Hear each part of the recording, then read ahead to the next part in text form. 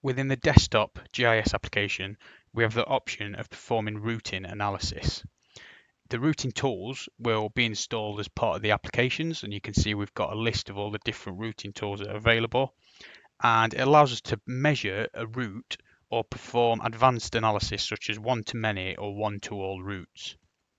So in its basic format, what you can do is using a routing network such as the integrated transport network we have here, what you could say is that we want to measure a route using our ITN road expression and we're going to create a brand new line item. We can click OK and we want to measure from one point to the other. And it's going to take in road routing information to work out the, the best route that you can take to get from point A to point B. And it returns and says it's going to take six minutes and 20 seconds for us to, to do that.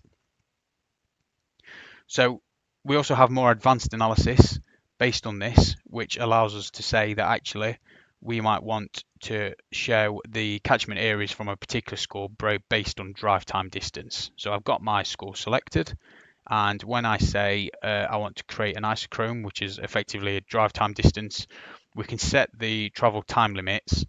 We can set a distance for the area to be captured and we can decide whether uh, we've got different options to fill these or create insect areas. I'm still going to use my ITN road expression and when I click OK, what you'll see in the back is it's creating these isochrones based on the configuration that we've just input. And when it's done, we can see we've got the isochrone in front of us and this gives us our travel times from our scores. So as you can see, this routing benefits us because we can easily view distances from a school to work out school catchment areas, which can save us time and money.